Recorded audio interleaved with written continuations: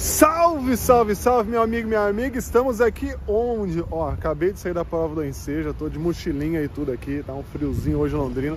O colégio que eu fiz a prova é ali, ó, Vicente Rijo, deixa eu mostrar pra vocês melhor, tá? Nesse colégio que eu fiz a prova. E bom, caras, acabei de sair, já vou fazer o comentário aqui sobre a redação, tá? Alguns pontos importantes que você deveria colocar no seu texto. Obviamente não dá para trazer a minha redação, né? O rascunho fica lá na escola, é, a folha definitiva também, né? Mas eu só anotei, por exemplo, qual foi meu A1, qual foi meu A2, algumas coisas assim. Anotei onde. Vou mostrar para vocês aqui, hein? Olha o que eu fiz. Olha o que eu fiz, ó. Eu anotei ali.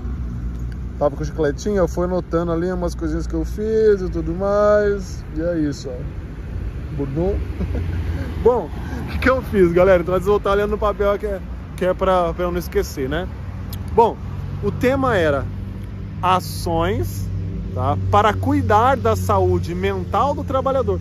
Um tema bem tranquilo, né? Um tema totalmente a ver com o mundo do trabalho, a jovens e adultos, etc e tal. Bom, bem melhor que o ano passado, tá? Um tema bem, bem, bem mais tranquilo que o ano passado, que também era de boa, mas, pô, esse aqui faz mais parte do nosso universo, tá? E aí, o que, que eu fiz? Bom, primeira coisa, você poderia usar dados para começar é, a sua redação. Então, por exemplo, tinham vários dados lá. Você poderia colocar assim, meu, é, 79% da, dos trabalhadores sofrem, segundo dados, daí tinha o dado lá do lugar, é, 79% dos trabalhadores sofrem com um caso de ansiedade. Tá? Essa situação, infelizmente, é uma realidade no Brasil e por isso devem, deve ser discutidas sobre ações para cuidar da saúde mental do brasileiro. Um problema causado por isso e aquilo. Aí você coloca as suas duas causas, tá? É, eu comecei aí citando uma série da Netflix, tá? Tem uma série da Netflix que chama Tok Tok. Ah, precisava começar com isso? Não. Mas eu comecei falando lá. A série Tok Tok traz vários personagens que sofrem por diversos é, transtornos mentais. Entre eles, daí eu falei Burnout, que aparecia no texto de apoio, falando inclusive lá de Burnout, né? E é isso. Bom, beleza. Aí eu coloquei lá assim, é, por, esse, por essa razão. Não, mentira, não coloquei por essa razão, não. Minha cabeça está cansada. Ah, Burnout. Aí eu coloquei assim: é, essa situação, infelizmente, não acontece apenas na série, né? Mas é uma realidade de muitos trabalhadores no Brasil. Tá? Por isso é importante discutir sobre os cuidados com a saúde mental do trabalhador, tá? causados principalmente. Aí eu falo o que, que causa esse problema, beleza? Bom, o meu A1 e o meu A2 eles foram o seguinte: o meu A1 foi a pressão das empresas, muitas vezes para atingir metas. Tá? O meu A1 foi então a pressão imposta por, pelas empresas para atingir metas, tá? E a segunda coisa, meu A2, foi é, deixa eu ver aqui. Deixa eu ver aqui, deixa eu ver aqui. Ah, falta de acompanhamento psicológico, tá? Então a segunda coisa que eu coloquei na redação foi a falta de acompanhamento psicológico. Beleza? Bom, deixa eu ver o que mais. Aí a gente tinha que começar a fazer todas as outras partezinhas, né? Então, lá no segundo parágrafo, Primeiramente, é importante destacar que, aí eu retomei meu argumento 1, que era a pressão das empresas. Como que eu justifiquei essa pressão? Né? Eu coloquei que devido a fatores econômicos, principalmente aí falou até da pandemia, né, que as empresas muitas vezes estão cada vez mais focadas em ter um bom rendimento, uma, um bom cenário econômico, as empresas colocam essas metas para os colaboradores. Porém, eu chamei a atenção para um fato que muitas, muitas vezes não dão respaldo, não dão ajuda para que o funcionário atinja essa meta. Coloca a meta para ele, mas sim, não dá um suporte para o cara atingir a meta.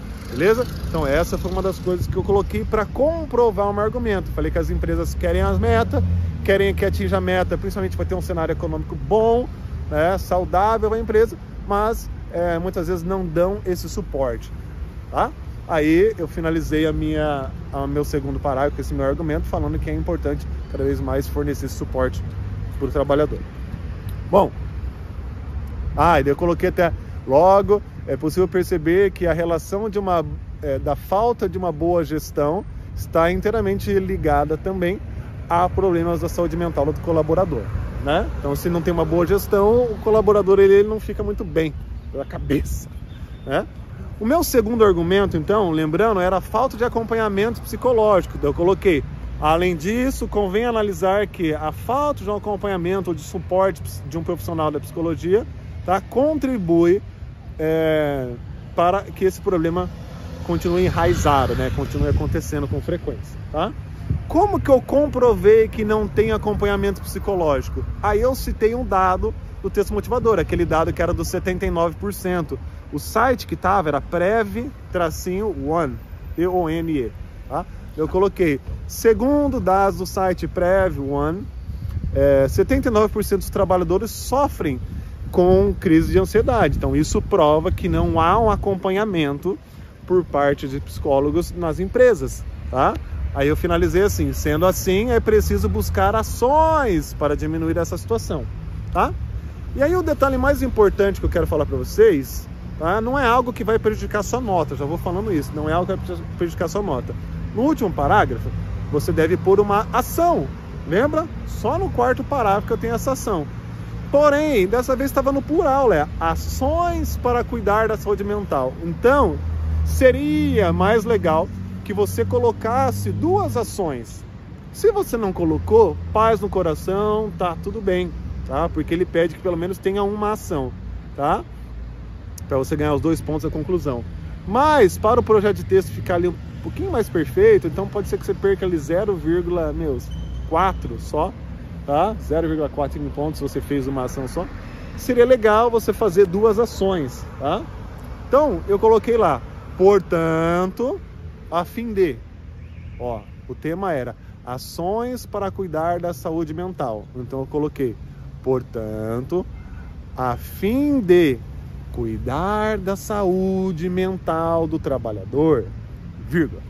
As empresas devem. Hum, o que, que eu falei daí? Deixa eu lembrar. Eu falei que as empresas devem. Deixa eu ver aqui qual era meu primeiro parágrafo, meu primeiro argumento. Ah, tá. As empresas devem fazer mais reuniões estratégicas para ajudar mais ainda o colaborador a atingir suas metas e rever essas metas quando necessário. Além do mais, ou seja, além dessa ação, tá? Eu coloquei propor reuniões com psicólogos, tá? Reuniões individuais ou em grupo com psicólogos, tá? Pelo menos uma vez por mês. É isso. Esse foi o esqueletão da minha redação em Seja 2023. Estou gravando aqui com o celular mesmo.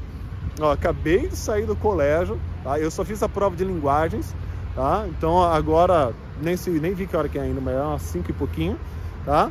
Então o cérebro está meio cansado aqui, mas exatamente essa sequência que eu fiz a minha redação. Deixa no comentário aí, fazendo favor, o que, que você colocou, qual foi seu A1, qual foi seu A2 e qual foi a ação ou as ações que você colocou.